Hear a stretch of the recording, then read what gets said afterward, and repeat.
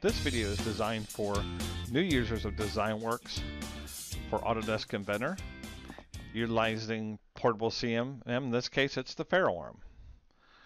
We're assuming you've already been through the probing getting started and then laser scanning getting started. This video is going to talk mainly about containment and mesh data. So let's go ahead and you've probably already seen this in the laser scanning getting started.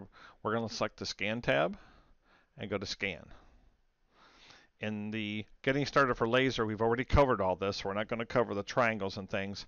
What we're going to mainly be talking about is the containment for clip planes and editing. So in this case, if you wanted to scan this, you could simply start scanning. And we'll do that. We also have the 8-axis rotary table up here. So let's just start scanning.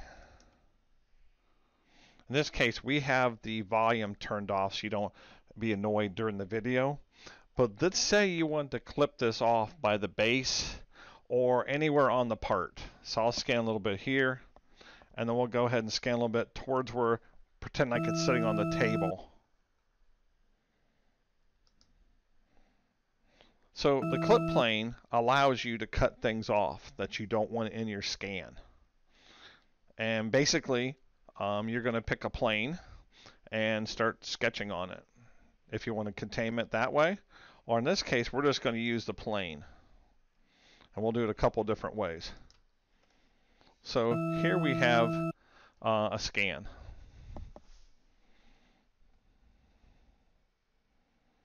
So we got a scan here of the car. But in this case, maybe we don't want this table. It's sitting on the table, and we'll also move it around. So a lot of times you don't know where you need the plane at. So it's best to scan a little bit. So let's use the XY. We did the alignment to the base of this table. And if you've been through the laser getting started for Autodesk Inventor, you've already seen it. So let's say you wanted to use this plane to cut something off. Now right now it's right on the edge. You would simply go up to the 3D model tab, select the plane in Inventor, and you'd say offset from plane, whatever amount you want. So let's just drag it or whatever and say we want to go up, uh, I don't know, maybe eighth inch. So this plane runs infinite, as you know. So there's our work plane. You could come back to the DezignWorks Scan tab, select Scan. In this case, it's active. If it wasn't, you'd have to go ahead and select it, then scan, but we already have a scan in process. Over here on the clip plane, you can select it from the tree, and there's also a clip off other side. So sometimes you don't know which way the clip plane is going to be. Notice that it cut the whole scan off at the plane and it gives you a really good edge. So if we continue to scan, you're going to notice that all that's going to be out of your way. So here I'll be obnoxious about it. I'll turn it. And we'll actually shine it on the table more. So you can see the preview line shows you the table, but notice how the clip plane cuts it off for you. All the way around, it's infinite. So even if you're on the back of it, back here, it won't see anything. We'll zoom out for you. Now that clip plane can be used anywhere you want. So see the preview line? It's showing what the laser sees. But because the clip plane's there, it's cutting it off.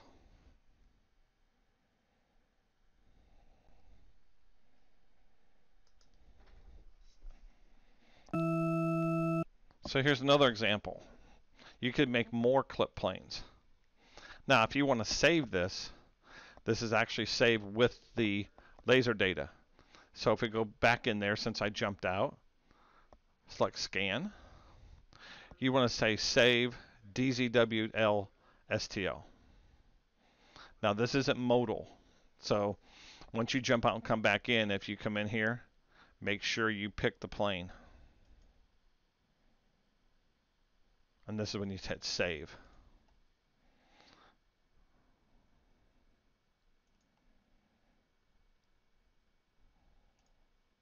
and that's now saved with it. So if you reloaded that back up, that plane would be saved with it. Now you can also use this at other places. So let's say we want to scan some more. We come and grab that work plane. And no matter which one it is, front, top, right, doesn't really care. We don't have all these turned on. Let's turn one on. Let's say visible.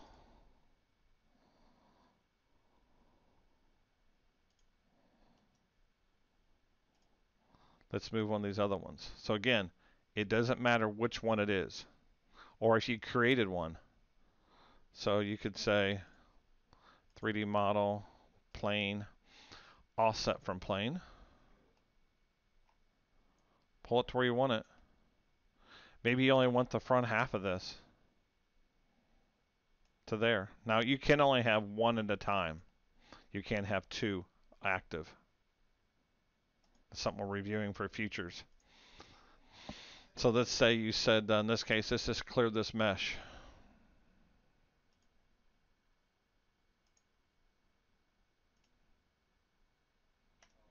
We'll go back into scanning. In this case, we'll pick this clip plane. And we'll scan on the front. So now, so when you hear that noise, that means it's on the stop. That's just a little um, option for the Faro Arm Manager. So now we have it on there. We'll scan up here. And you notice you won't have any data behind there. It's a really great, great way to clip it off.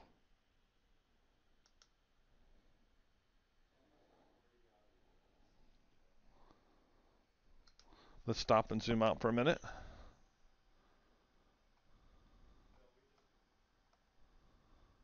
and you can move the little property box anywhere you want. So if you didn't want that um, scanned anywhere else, make a clip plane. Even here we'll, we'll split it, put the plane. Notice I'm on one side of it. You'll see the preview line on the screen. Shows the exact line where you scan. We'll spin this around a little bit.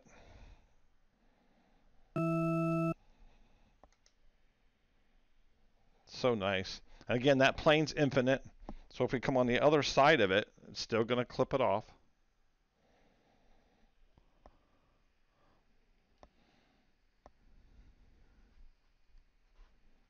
So handy. We'll go down the front of it a little bit.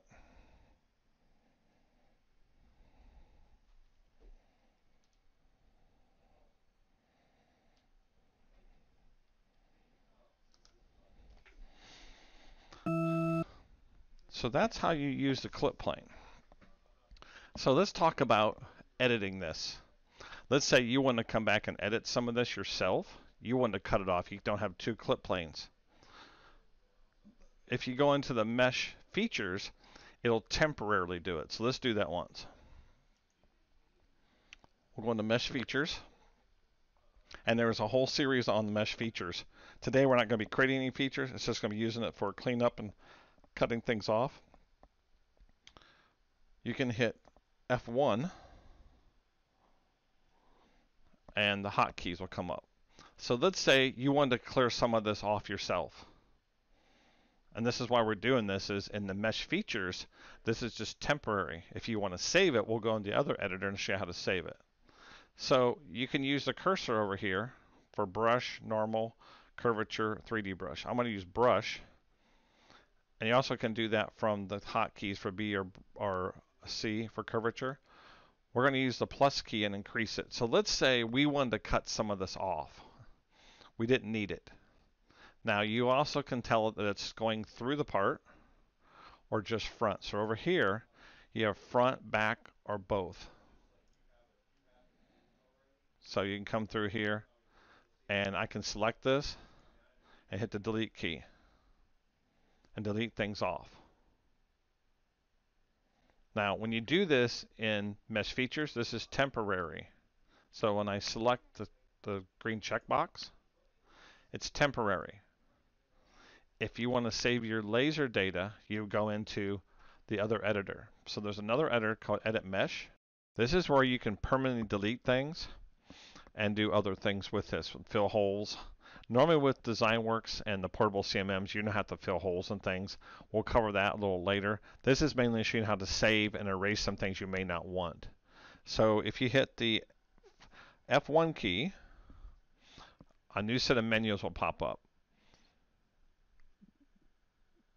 Under the mesh tools up on the top, this is mainly for using uh, DezignWorks with other laser scanners that need cleanup and things. You rarely would need this for using it with the Faro. What we're going to talk about mainly is erasing and painting through the part. So you can either have like a round dot or hit the Q key and have a square. The plus key will increase it. And by looking down here, you can be with front and back or you also can hit like the U key and go through it. So let's hit U once. Now you may not use this very often, but it's here in case you do. So in this case, we had the clip plane back here. You can't have a double clip plane, and we still got the table. So you can simply hold down left mouse key and drag it around and get rid of things you don't want. Now remember, right now I have it on painting through. So if it was aligned up correctly, it would paint through the part. Hit the delete key to remove things. Let's take a look at it again. Let's say you want to get this on both sides. If you're on, have the U key selected, down here it says through, it'll actually cut all the way through the part. We'll go a little higher.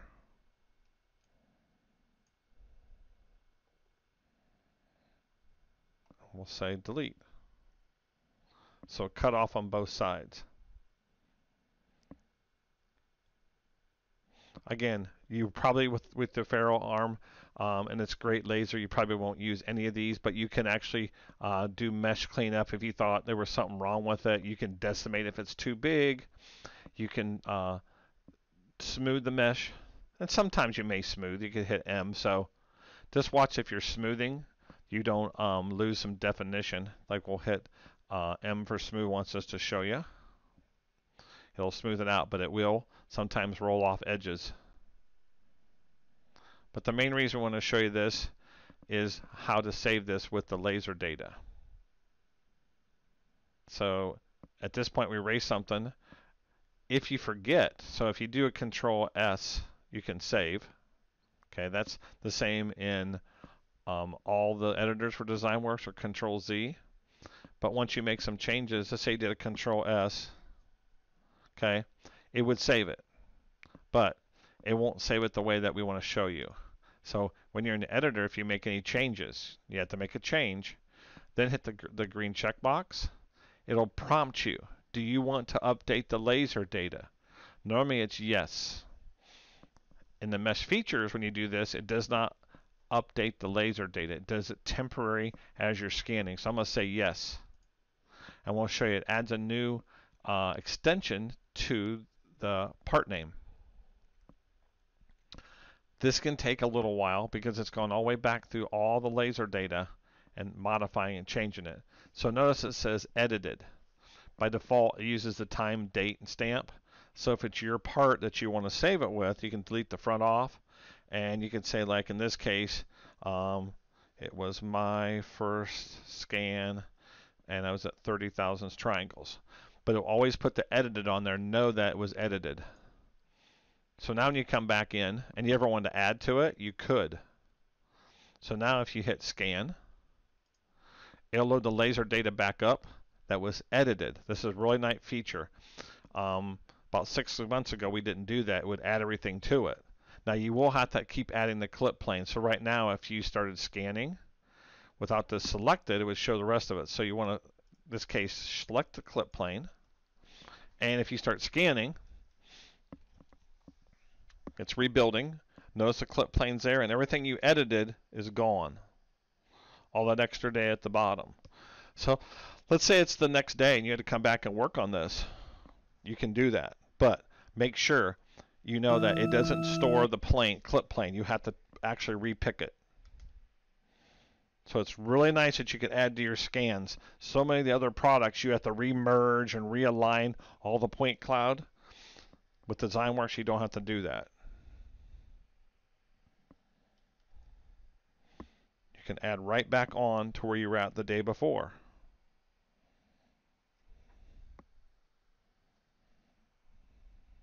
And again, if you needed to edit that off the bottom, you could, because you really can't have two clip planes. We can spin it so you can see it.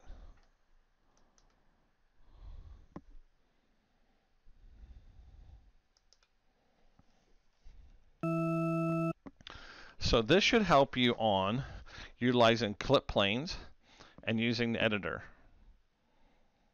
Stay tuned for more of the DezignWorks training files and have a great day. We appreciate your business.